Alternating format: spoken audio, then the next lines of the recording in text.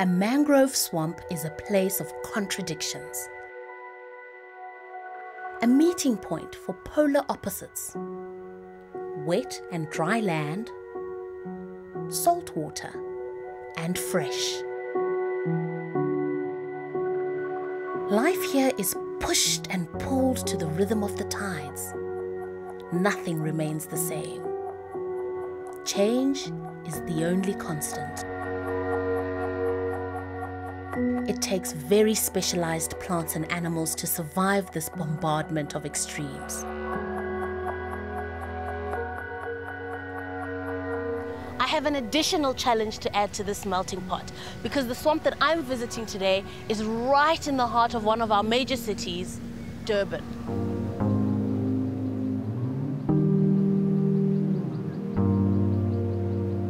I'm a city girl at heart, so this adventure suits me perfectly.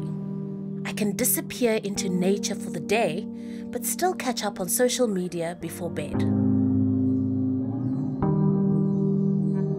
Beachwood Mangrove Nature Reserve is just a short left out of the city, so it's quick and easy to visit and care for. The reserve boasts an entourage of dedicated volunteers who work with the full-time staff to educate the public, clear pollution and upgrade infrastructure.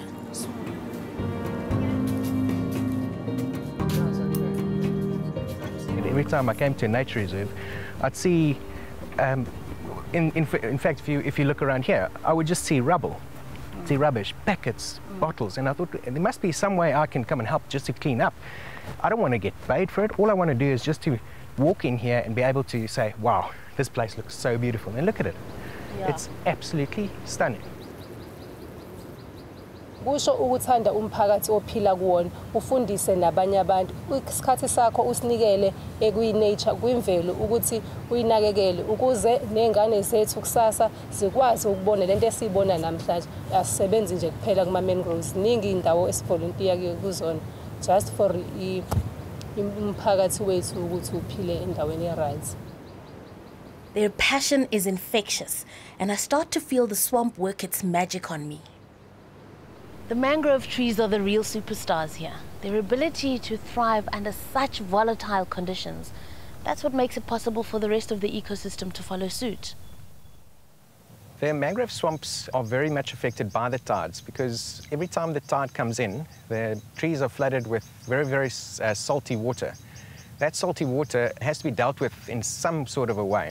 The other extreme they have to deal with is at low tide when all that water gets drained out and you end up with an extremely dry environment. So the trees at the same time in one day has to have to deal with being totally flooded and basically almost drowned to being absolutely dry and having all the moisture sucked out of the ground by the, by the salt content.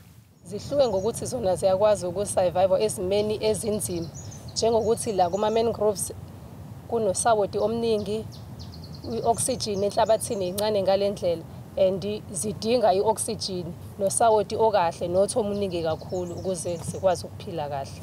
So zakhiwe ngendlela enjani yenza ukuthi zikwazi ukuphila um kule simo sinjena okokuqala nje iy'mpande zakhona zihlukile kunalezi zihlahla ezinomali. Ihleningi zingaphansi ezama-mangroves iy'mpande zingaphezu kwenhlabathi and nendlela ezime ngakhona nje ngoba udaka lala lumanzi ngale ndlela. Okusho ukuthi le hlahla ziqinile phela ngoba ziphila endaweni engenayo i-oxygen ziphila endaweni enosawuti omningi ngisho nomuntu nje engakhona ukuphila ndawo ngeke uzokwazi ukuphila ngempela endaweni enje kunzima. That's why ngithanda ukusebenza ngale ndawo and abantu abaningi abayazi imfihlo yalezi hlahla ukuthi zinzima kanjani. Uma ungase nje unathi umsebenzi wazo ngeke uze usurvive. Different species of mangrove trees have got different ways of coping with the high salt content in the area. But the coping method that I like the most is that of the black mangrove, because as the salt levels build up inside the tree, it sends the excess to one leaf in a tree bunch. That leaf turns yellow and then it falls off. So in essence, it is sacrificing one leaf for the health of the rest. Isn't that ingenious?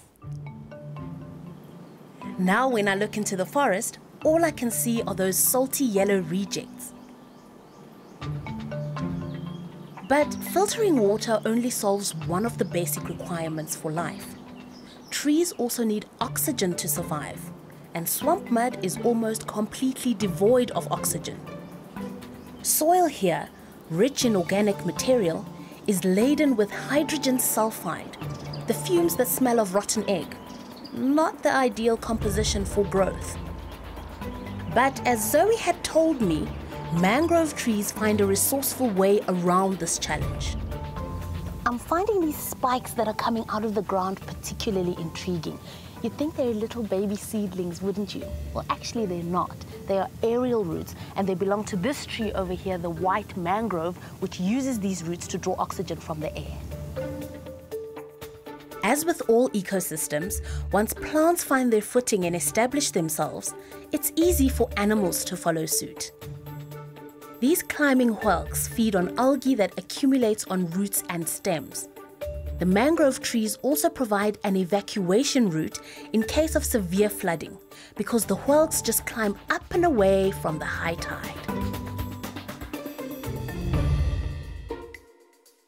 This swamp is also home to a fish that prefers to be out of the water.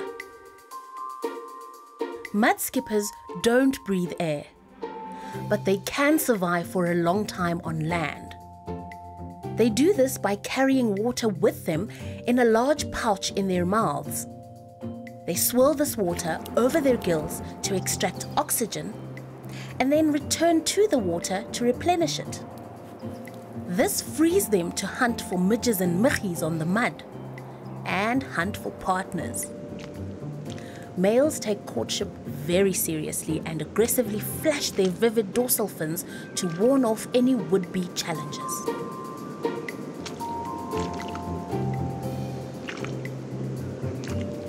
So, Keith, do the mudskippers ever come all the way up here?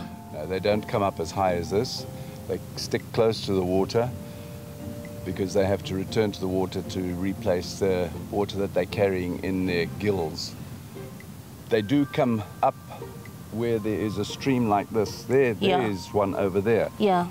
There's a little patch of water that's coming from the creek up into the dry mud, and that is the only type of place where they come further away from the main stream.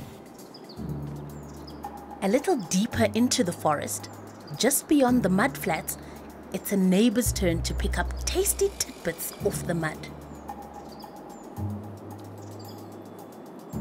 Now, I've been waiting to play with these all day. Apparently, the red mangrove crabs go crazy over them. And when I say go crazy, I mean all they need is to hear a leaf drop and they rush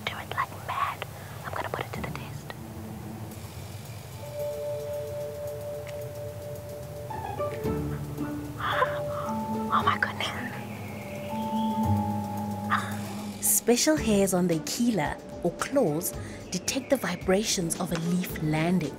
Red mangrove crabs are so keen on the savory snack, individuals wait at their tunnel entrances in anticipation. There's never time for leaf litter to collect here. The forest floor is kept pristine.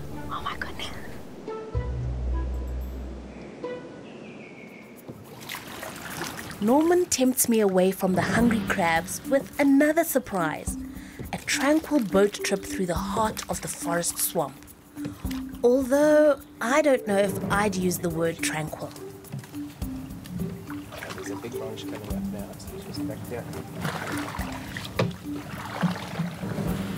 Here we go. We're almost in the open channel. Right. Okay. Now we've got a clear channel again. Now we can just pedal like this. Okay.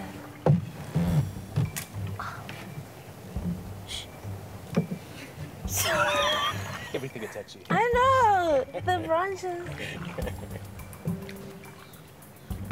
Oh look, here here are the pencil roots. And these ones that have got like leaves, they can't be the pencil roots. They've got to be. Those are the, the seeds. When they land in the in the mud, they, they plant themselves and they slowly start growing. And then eventually And they grow into mangrove trees. they grow, grow into these mangrove trees here, the black mangroves. But then they can't cl- grow so close together. Look how big they are. They grow close together because it drops so many seeds. And then once the clearing opens, then the tree starts to expand. And then it really, really goes for it. Um, the older trees will then eventually die down and fall down, and the new growth will, the new forest will be there. So it's constantly replenishing. the forest. I finally relax in the peaceful forest. But these guys just can't leave me alone.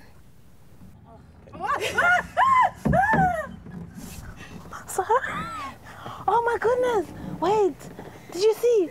Look, I'm not crazy. Look, That's a marsh crab. where is it? It's a marsh crab. I You know promise you. To, look, As the tide comes up, they start climbing up the branches, uh, I can't even paddle. and they'll slowly come up, and eventually the, the, all the branches will just be covered with crabs. And if you startle them, this is something that I don't want you to panic about too much. It can start raining crabs because they'll just jump in panic. Maybe I should paddle just a. But I'm just joking. They don't really. They don't really jump. I'm just saying, I'm not really scared of crab. like you were saying, They're very mm. fluffy, cuddly creatures, aren't they? Mm, lovely. Ooh. The mangrove swamp is a crab haven. It makes sense. Just like the mud skippers, crabs breathe with gills but can live on land too by keeping their gills wet, which means remaining close to water. Now, these little guys are more my size. Fiddler crabs feed on the exposed mud when the tide retreats, though I don't see much eating going on. The male crabs, easy to spot with their one oversized pincer, are far too busy impressing the females. Right handed or left handed, all this frantic waving is to secure a mate. The massive claw is totally useless for foraging, so the males have to work twice as hard as the females to get food. Nature never ceases to amaze me. Despite the hardships of the salty water, the battering of the waves, needing to be wet for half a day, then dry for half a day, life always rises to the challenge.